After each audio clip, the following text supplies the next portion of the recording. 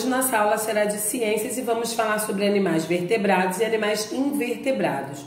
Utilizaremos o módulo 4 das páginas 185 a 190.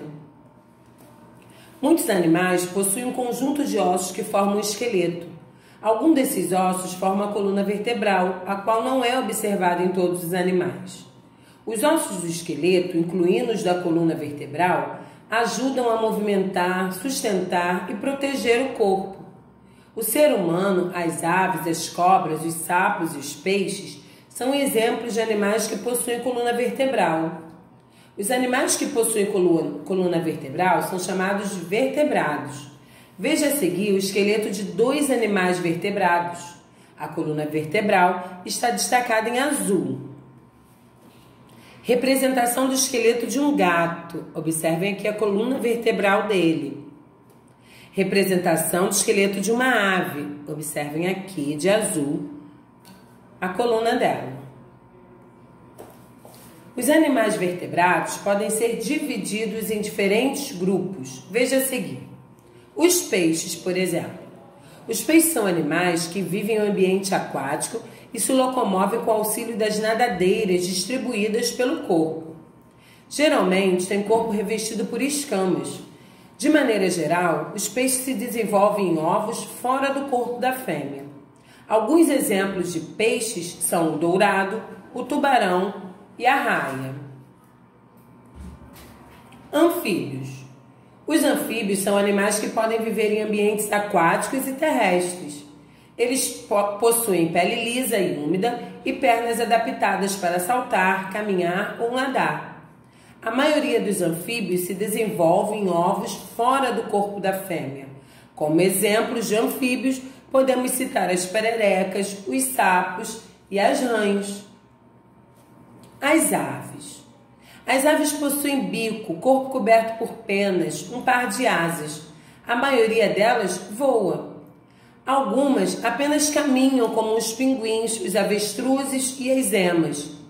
As aves se desenvolvem no interior de ovos que ficam fora do corpo da fêmea.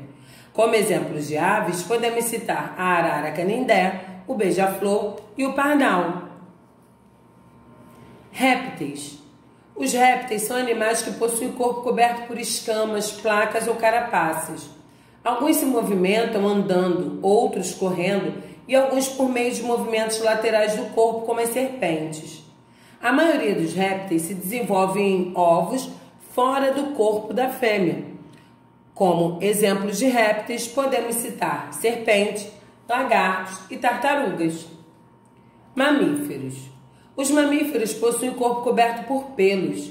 Estes animais se alimentam de leite materno até certo tempo, após o nascimento. A maioria se desenvolve até o nascimento no interior da fêmea, em um órgão chamado útero.